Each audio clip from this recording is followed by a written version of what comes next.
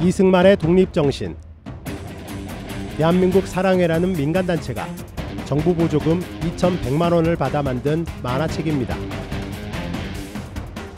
대한민국 사랑회는 민주주의를 유린하고 부정선거를 통해 독재 체제를 이어가다 4.19 혁명으로 쫓겨난 이승만 전 대통령을 건국의 아버지로 추앙하는 뉴라이트 계열의 단체입니다.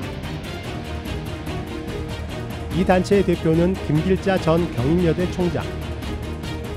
어떤 운동을 하는 것이 애국운동이 될까로 생각하다가 제가 이승만 대통령을 우리 국민에게 바르게 알리는 일이 가장 근본적이고 가장 우선적인 일이라고 결단을 하고서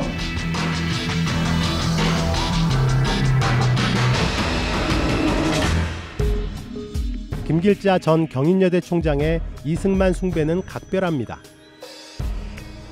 학교 교정에 이승만 석상을 세우는가 하면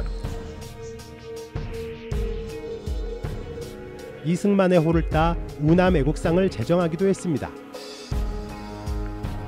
김길자 전 총장은 또 이승만을 기리는 사업 재원을 마련하기 위해 교직원들에게 반강제적으로 모금을 독려하고 학생들의 바자회 수익금을 학생의 동의 없이 가져다 썼습니다. 이 같은 사실이 지난해 뉴스타파 보도를 통해 세상에 알려졌고 국민권익위가 진상조사에 들어가는 등 파장이 커지자 결국 총장 자리에서 물러났습니다. 이명박과 박근혜 정부는 지난 2010년부터 김길자 전 총장의 각별한 이승만 사랑에 힘을 보탰습니다.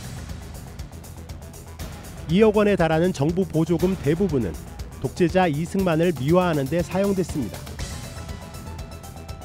뉴스타파는 지난 2016년 대한민국 사랑회가 이승만의 독립정신이라는 만화책을 발간하는 데 사용한 정부 보조금의 행방을 추적했습니다.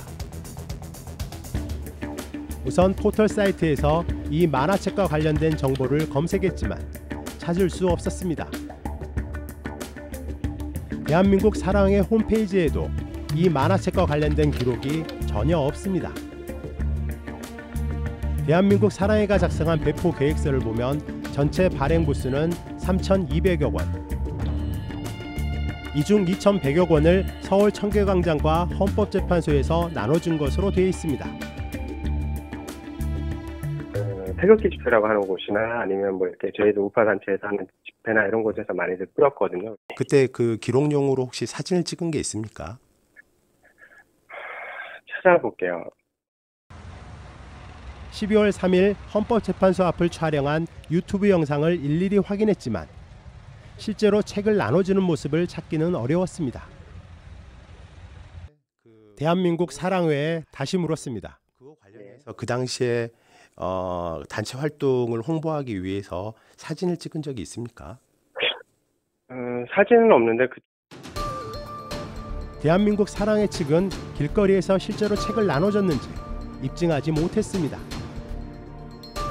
게다가 한 번에 수백 권의 책을 운반하는 데 필요한 운송비 영수증도 없었습니다. 이 단체는 또 출판사를 통해 전국 도서관 201곳에 이 책을 배포했다고 주장하지만 흔적을 찾을 수 없었습니다. 배송 명단을 보면 경기도 고양시 관 내 9개 도서관에 책을 3권씩 보낸 것으로 나옵니다.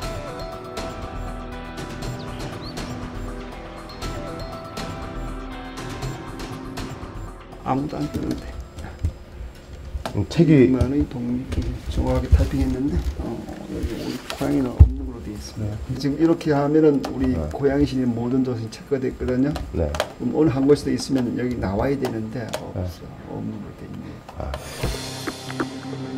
국립중앙도서관을 비롯해 전국의 공공도서관과 정부 부처 자료실 등 1,500여 곳에 소장된 자료를 한꺼번에 검색할 수 있는 코리스넷입니다. 검색 결과 대한민국 사랑회가 발행한 만화책은 없었습니다.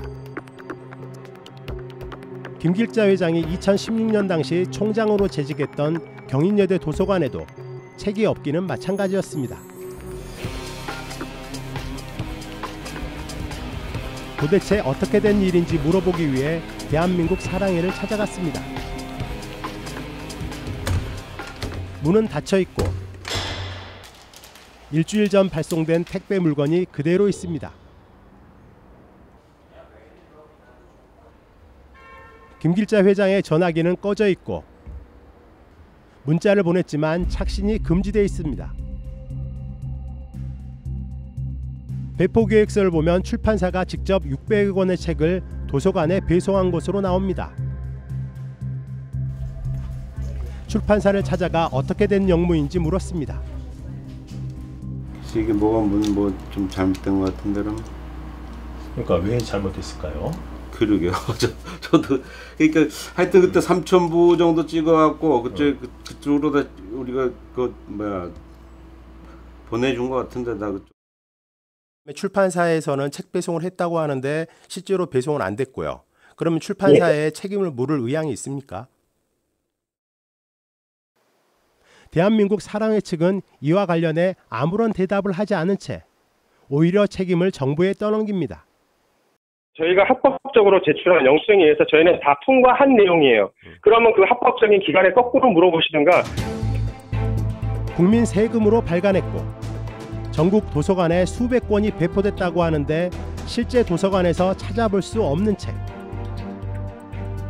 정부 보조금을 횡령한 것은 아닌지 관계 당국의 수사가 필요해 보입니다. 뉴스타파 황일수입니다. 예, 목숨을 걸어서라도 지키려고 하는 것은 국가가 아니야. 난 분명히 소위 애국 이런 것이 아니야. 진실이야.